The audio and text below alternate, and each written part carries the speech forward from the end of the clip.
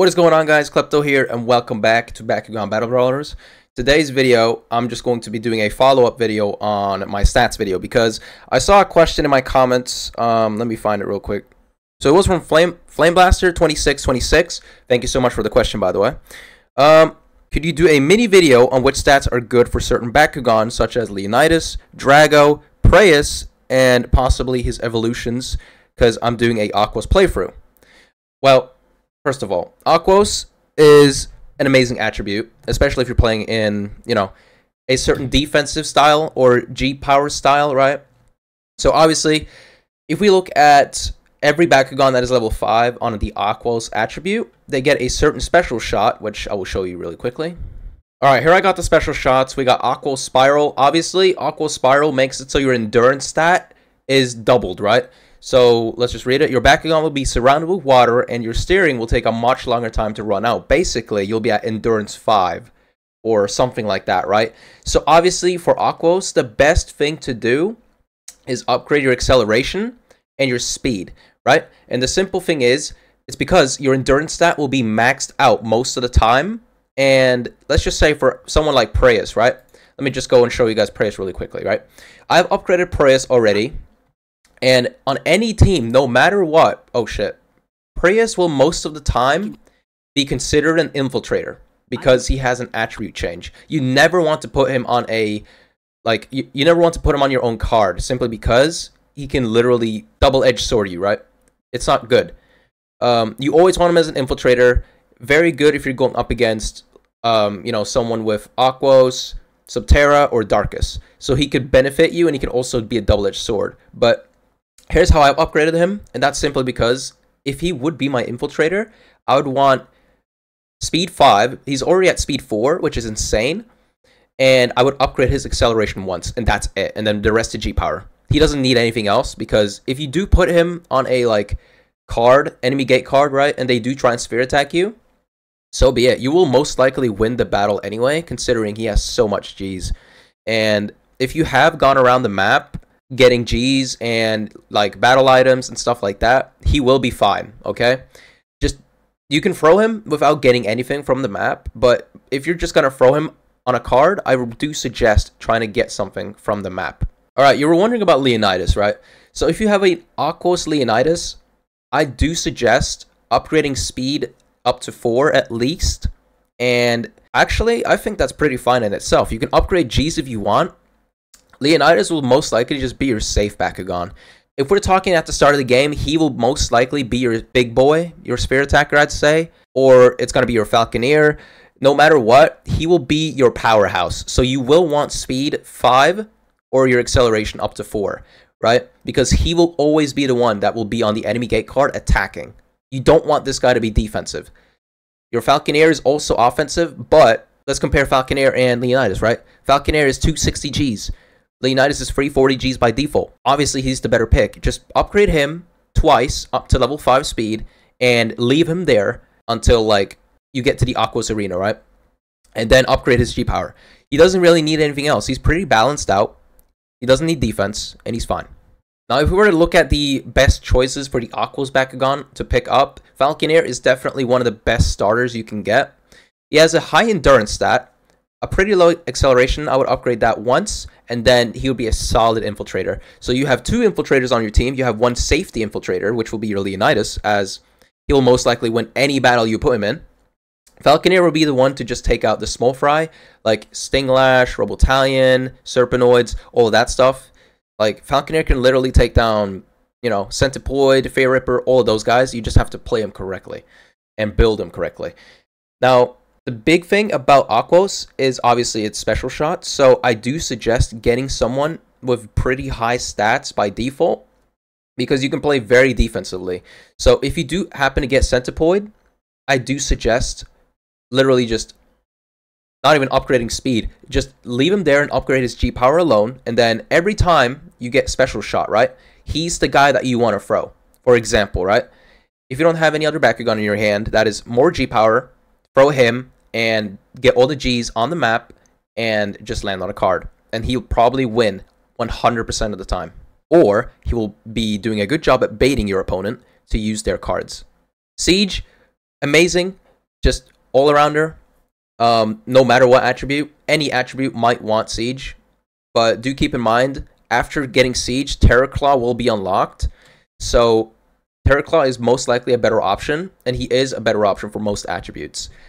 Now the thing about every attribute is they all got a different playstyle. Aquos, they got the endurance going for them. Pyrus, they have the speed going for them. Basically, their spear attacks are way better than everybody else. So you want speed at 5, no matter what. Uh, Subterra is more of a defensive one because of their cards. So you always want defense to be pretty high. And, you know, one infiltrator, you can have speed 5. You know, it's, it is what it is.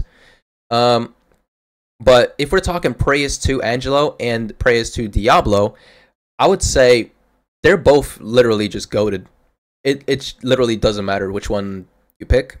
You can't go wrong with his stats. You just have to like I would put them both as infiltrators to be honest. Um any Bakugan that is not your own attribute, I would literally just put as an infiltrator, right? So I would upgrade their speed to 5 both of them and they can either be, you know, safety hazards, you can put them on your own cards, or you can put them on enemy cards, which will be even better considering imagine you go up against Tigrerra, right? You could Spear Attack with Angelo, and you can get the same benefit that Tigrerra would from a card that is Haos, right? That's what's so powerful about these guys right here. Because you could put them in any situation, and they'll be amazing infiltrators. They'll always gain G power from the highest gaining G power on that card between their two attributes. So, if you're going up against Drago, and he has a 160 Pyrus card and a 20 Aquos, right? You'll be getting 160 from that. So just upgrade their speed to 5, both of them, right? and just upgrade their G power. They don't need anything else. They're fine the way they are. But like I was saying, um, if you are making an Aquos team, Laserman has to be on your team. The endurance stat and the defense stat are more than enough to warrant a uh, place on the team. I would also try to push Terrorclaw on the team because he has a pretty high defense stat, and Aquos and Subterra are very defensive uh, attributes. So I definitely think that's the play. For other attributes, such as Pyrus, always go for speed. Speed has to be maxed out because when you get that Pyrus strike, it's almost a guaranteed KO right there. I haven't done it myself simply because I'm not too good with Pyrus. And um, I'm usually not lucky when it comes to the spare attacks, so I just don't bother. But you should definitely do it if you're going for a uh, blind playthrough or just, you know, you want to finish it as quickly as possible. For Ventus, it's kind of mixed, I'm not going to lie people might think that Ventus is all about, you know, getting around the map. It, it kind of is, and it kind of isn't. Their special shot is made so that they can get all the G's around them. So you could pretty easily say that, you know, they need to have jump so that they can access very high places and stuff like that. No, you really don't. You really don't. What you want to focus on with Ventus is endurance. Endurance and acceleration is key. Because if you have their special shot, they will be getting all the G power in the map if you just have the right endurance and acceleration. But yeah, you definitely want Laserman. Um, and you can upgrade his jump once because you know he has the best endurance and acceleration stat out of all the Bakugan. So he's definitely the play. And if you upgrade jump once, then you can guarantee getting on those trampolines and then focus on G power, obviously. Darkus, I mean, like I've said before, Darkus is literally just absorbing G power, so it doesn't really matter what you pick here. They're basically all arounders, but I would still do uh, sphere attacks with them simply because you know they're kind of broken. Eos, I mean, Haos is kind of like an all around attribute.